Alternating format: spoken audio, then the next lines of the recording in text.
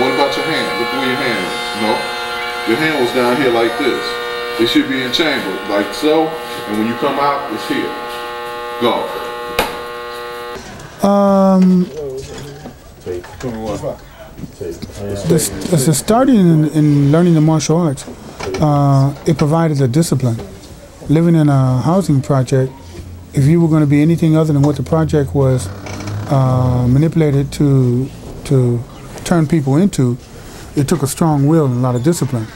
Uh, a lot of young men found that discipline in gangs, and, um, but more in all, those of us who didn't want to go into the illegal trades or didn't want to go into the the the, the gang mentality, uh, who did go into the martial arts, we found it provided us military strength. It gave us a uh, uh, a relationship of uh, being in the tribe, being the warriors.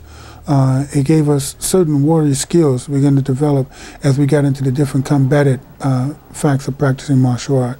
But even more than all, it gave us family. Go. So, uh, what has happened is when you talk about martial arts and you talk about blacks in the martial arts, is that uh, we have come together and formed families that allow us to exist off the discipline of the Asians martial arts. And that discipline is derived for us through rigorous martial art training. Height. No. You doing this?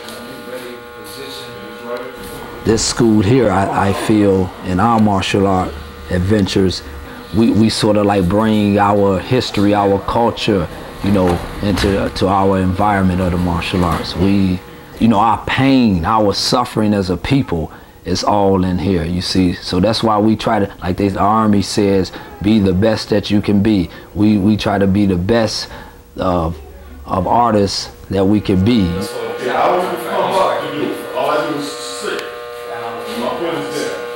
So the arts to me is is a uh, is a, is a thing of uh, upliftment.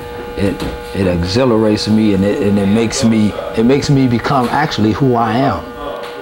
You know, I'm a warrior in spirit, and I'm a fighter for my people, and I cannot be a fighter and a warrior for my people if I did not uh, condition, train and condition myself.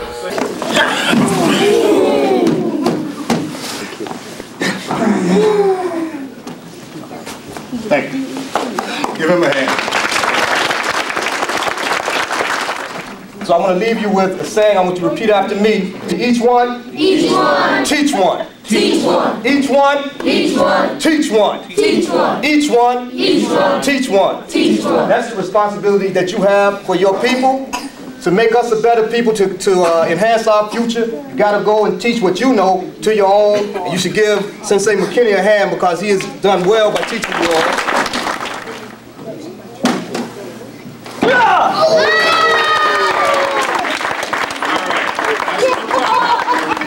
Important thing you're gonna learn about karate is what?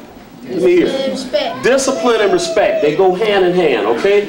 I get more pleasure out of going to tournaments and seeing young black kids being motivated uh, to participate in the martial arts as opposed to uh, dope slinging and gun slinging. We see enough of that out in the community every day.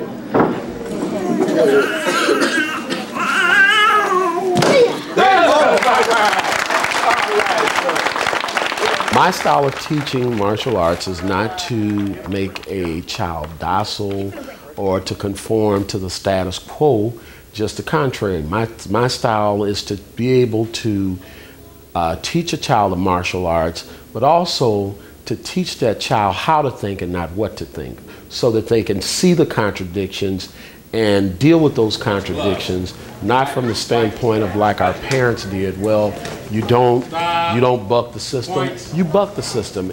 Nope. My martial arts experience uh, kind of took a dramatic twist because um, I joined the Panther Party in 1969 of uh, January. My destination and stay into the Panther Party was up until about 1977. I think the uh, the the reception toward the martial arts in terms of the black community was due to the fact of police brutality.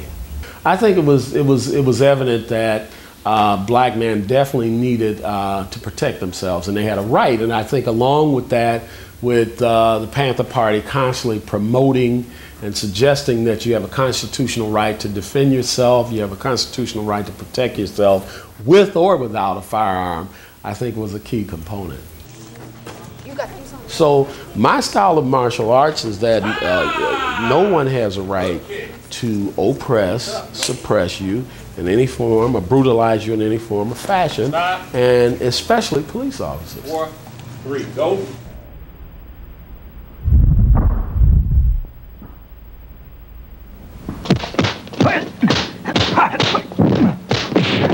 I seen this movie at the McVickers in 70, I think it was 77, I'm not mistaken. The Soul Brothers of Kung Fu. It's Carl Scott, one of the first guys. Other guys was on the scene. He's one of the first uh, African American actors that the Chinese really liked because they said his discipline in his body, how he learned his martial arts, he can deal with the rigorous training on the sets and the rigorous training to keep doing the technique over and over again. So he's very adaptable as far as the style. Oh, so what do I do now, brother, huh? Here,